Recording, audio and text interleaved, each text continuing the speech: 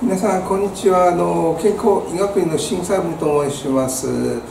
えーと最近はですねコロナが流行ってるうちにちょっと皆さんいろいろな方を、まあ、家で出にくくなりますけど、まあ、たくさんのストレスをたまりますよね。このストレス解消どうすればいいかというまあいろいろ方法ありますけど、まあ、我々気候の中で一つ簡単な方で、まあ、約30秒でストレスをよく発散できるをちょっと皆さん紹介したいと思います。えっとの奈良行きましたね。東大寺の前が人号像を立ててますね。お二人一人はまあ「ふん」っていう我々中部では「ふんは」という両称ですね。この鼻でこのして「ふん」っていう空気が鼻から出てるね。もう一人は口開けて「はー」という空気を出すの通路が違う。鼻から出ると口から出ると両方なります。だから一つは発声ですね。声を出してそれからこのストレス発散。もう一つはね空気出した通路を違うと脳に対してこのちょっとリラックスという効果が、えー、あると思います。この方法で、まあ、あの20回ぐらいありますよね。でやれば計算すれば大体30秒ぐらい、えーまあ、発散できます。左手はね「ふん」という「ふん」空気はね鼻から「ふん」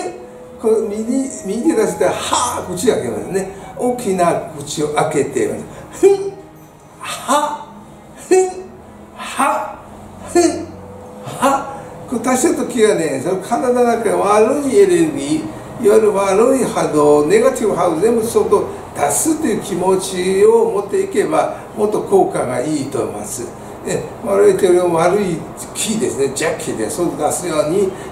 ちょっと一緒にやりましょうか。まあ20回ですよね、まあ、約20回で一緒にやりましょう。はい左手は「ふん」いいですか？右手は「は」「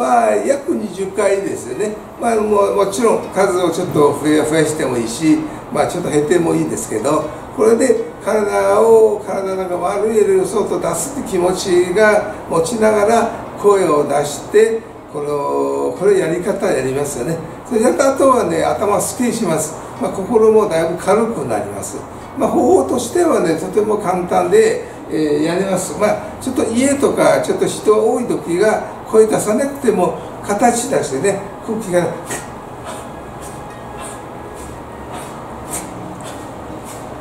この形も、ま、できます。でちょっとストレス発散に対してとてもいい効果の方法で、まあ、ぜひ皆さんやってください。え、まあ、参考になっていただければ幸いです。でそれではまた会いましょう、えー、ご興味ある方は私のチャンネル登録してください。はいさようなら。バイバイ。